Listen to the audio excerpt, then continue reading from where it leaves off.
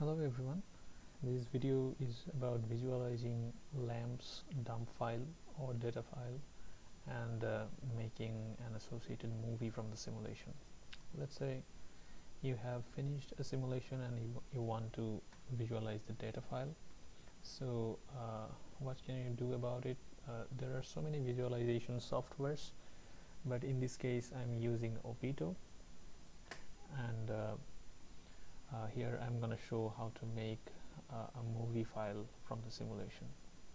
Let's say this is the uh, completion folder of your simulation and this is the dump file. When you open this with OVITO uh, from the initial data file I can see that the first 5900 atoms uh, they belong to the membrane proteins and the rest are water.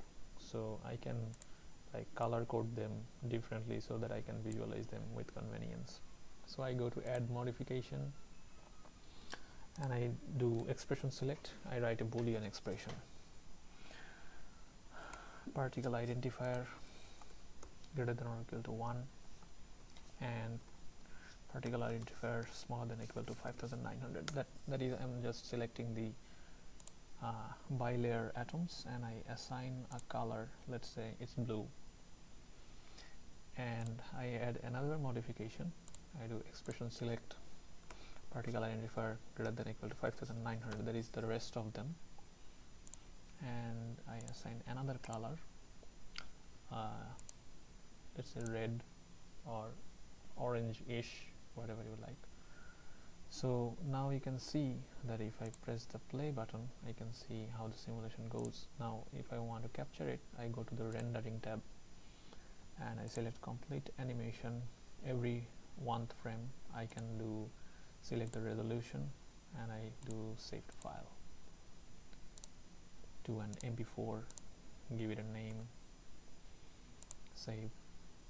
If you want to uh, have better control over your uh, recording then you click switch renderer and go to Tachyon or other renderers but uh, for these I'm uh, sticking with the default one. So now I'm clicking render active viewport. Uh, it's saving.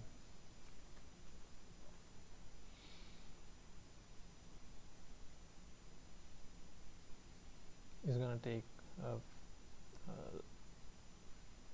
it's gonna take a little bit longer as it is a high, high resolution video. The time will depend on the resolution of the video. Is done. Let's see how it went. Yeah so this is one. If I click on it you can see the simulation video. So that's how you visualize uh, LAMMPS data file or dump file thank you